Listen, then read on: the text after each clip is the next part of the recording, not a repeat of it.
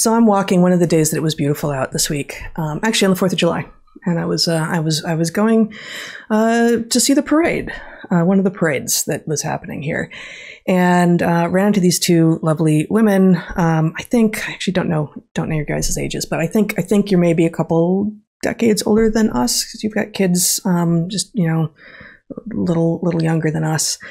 Um, these women are wide awake. They're liberal and they are not buying the mainstream media nonsense. They are um, both vaccinated against COVID, both with J and J, and uh, they have no intention of getting any boosters. Although in one of their cases, their son uh, said the reason that they got uh, injected the first time was that their son said, "Actually, Ma, you can't see your grandkids unless you get a vaccine." And so she uh, re- very reluctantly went and got the one that she perceived to be the, the safest one, the J and J. Um, and she wished she wishes she hadn't had to. And so the conversation I then had, uh, you know, when she's telling me this, is she says, uh, "I'm kind of an anti-vaxxer from way back." And I raised my eyebrows at her, I'm like, "Really? Why?" She says, "Well, I never took the flu vaccine, for instance." And I said, "Well, okay, but." You know, the flu vaccine isn't really a vaccine if if you think about it, you know, if, if we're defining vaccine really liberally and these COVID vaccines are vaccines, the flu vaccine is vaccine, okay. But actually, they're kind of cheating when they're calling these things vaccines. And, um, you know, anything with really rapidly fading efficacy, such that you need shots within a year, or, you know, Canada saying nine months, uh, is as actually JJ Couey insistence, and I think he's right um, on calling them transfections rather than vaccines, right? I have not heard him say that about flu. No, about the COVID vaccines oh, certainly, in particular. Certainly. Yes, yep. yes, not not about flu. Um, so I said, okay, so you know, a lot of people are, have been skeptical about getting the, the flu vaccine. So I don't I don't think that makes you an anti-vaxxer. And she said, okay. Um, so I was like, but you haven't gotten any vaccines? And she says, oh, I'm up to date on my tetanus shot. And she said, I got MMR. And when I travel, I always get the recommended vaccines like yellow fever. And I said, Well, you're hardly an anti vaxxer then. What you are is a trad vaxxer. Mm. A trad vaxxer. And I'm also a trad vaxxer. I think you're also a trad vaxxer. And trad here obviously has implications over in like trad wife space. Trad wife? Hell no.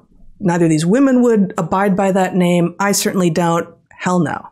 Trad vaxxer, referring to what vaccines originally were, the mechanism by which they work, the reason that they are effective in getting your immune system to become aware of something in a small way, such that if they become uh, infected, if, if the body becomes exposed to the actual virus or whatever the pathogen is in a larger form, it has a head start on it.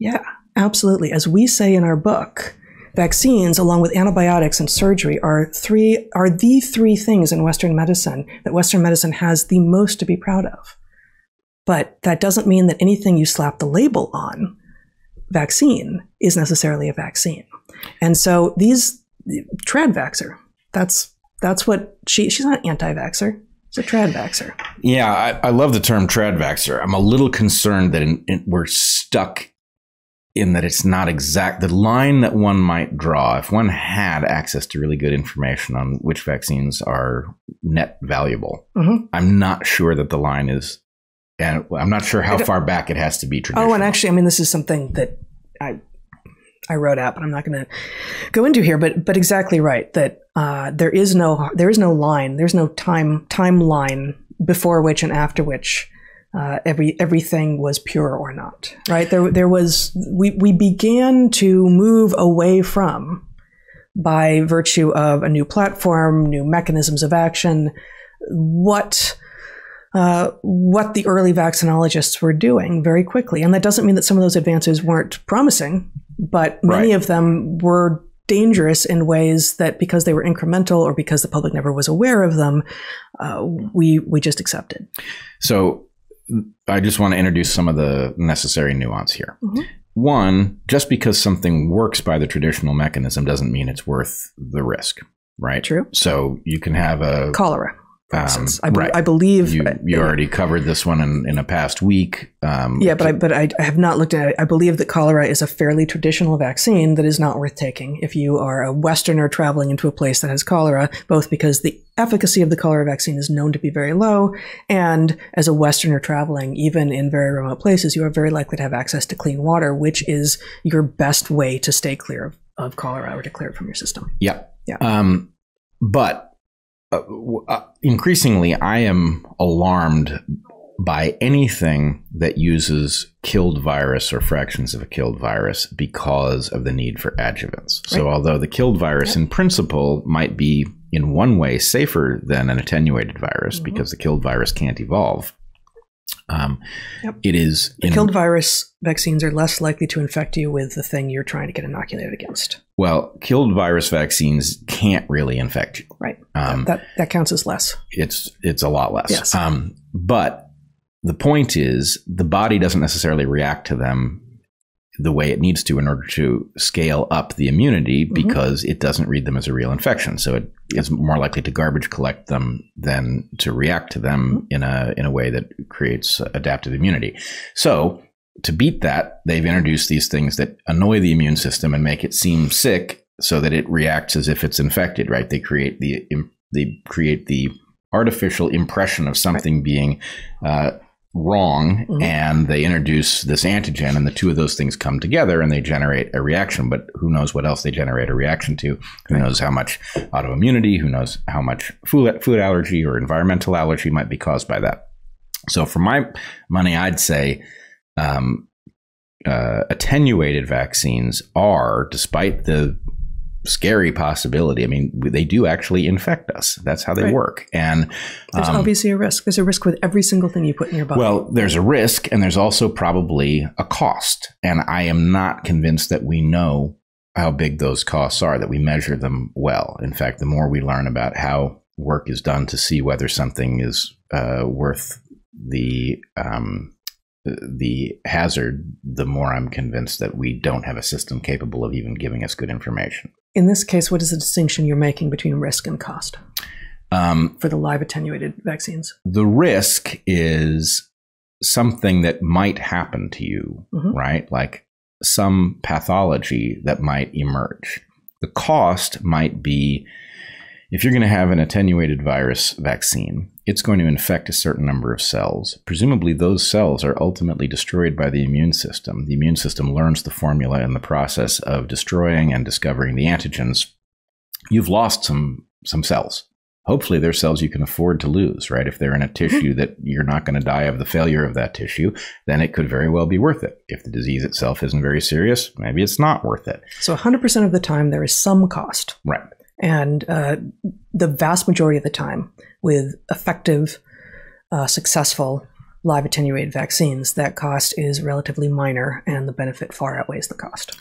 Right. It would be hoped. Mhm. Um, the problem is because the people doing the testing are obviously uh, the people with a perverse incentive over discovering that, well, wouldn't you know it, these things are safe and hey, they're terrifically effective. Mhm. Or no, terrifically efficacious. And we should actually get back to that distinction. Um, but in any case, the initial vaccine, right?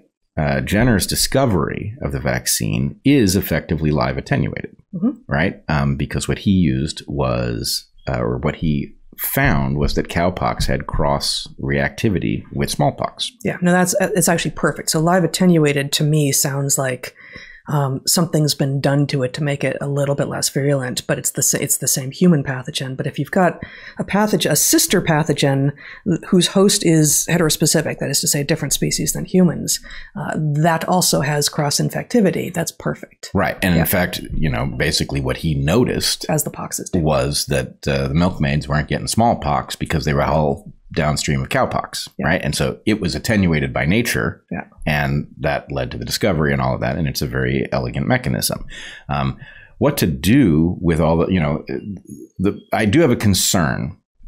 JJ Couey's point, and I'm increasingly convinced that although I dismissed the linguistic disti- distinction before, I think this is an error that I made. Mhm. The transfection question is a serious one, Mhm. right? This is a um, to call this a vaccine smuggles it in in a category that feels safer than it is actually, mm-hmm. but it's way safer than some untested technology that um, does involve instead of producing the vaccine in a factory, turning you into a vaccine factory. Right? That's what it does, and um, well, and, the, and, so the linguistic smuggling. Yeah. Uh, it almost seems like even if we weren't actively set up, we were effectively actively set up for many, many years by understanding, you know, everyone in polite society is like, oh, we know that the anti vaxxers is just a different group, right? Yeah. And so what that creates is an understanding that for, for, I believe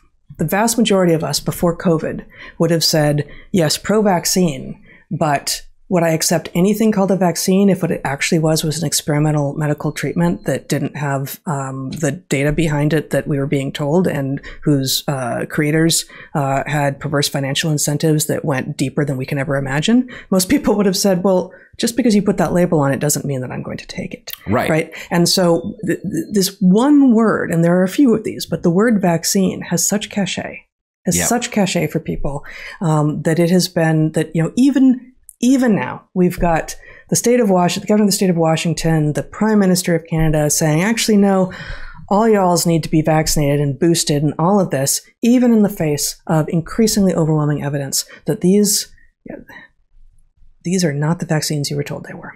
Right.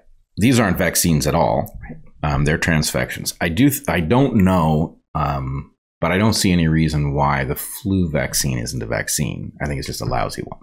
Um, so maybe there's something I don't know about it, but I, th- I think that's I think it is a vaccine by the mechanistic definition. It's just not uh, effective enough to be worthwhile and has costs that we don't acknowledge. Um, so uh, I have one other point. It had to do with the DNA back the DNA transfection uh, mechanism, but I can't remember what it was. Anyway, um, nonetheless, there is something to the idea that were you to say, you know, oh, James is anti pharmaceutical, he's anti pill, mm-hmm. right? That wouldn't make any sense because presumably James, whatever his conditions might be, should be anti just about every pill and only accept those for which there's evidence that it would be more beneficial to him than costly. Right. right? And in fact, we recognize in the case of every single uh, pharmaceutical pill um, that there is toxicity mm-hmm. to it. And so built into the model is there's a cost and it needs to exceed that cost uh, right. uh, in your particular case. Well, you know, anti anti pharmaceutical uh, could be perhaps more accurately for most of us described as uh, the default position is no thank you. I need to be convinced that this is going to be valuable for me, that the net benefit outweighs the the, the costs. Um, that, that there is net benefit rather, and um, that somehow that position which is an extraordinarily reasonable and middle of the road position, uh, has been denounced as anti scientific, as right wing, as uh, as bad for public health, as therefore anti-community spirited, and it is it is none of these things. Elmo and his father, notwithstanding. Right. Now this reminds me of what I was going to say. The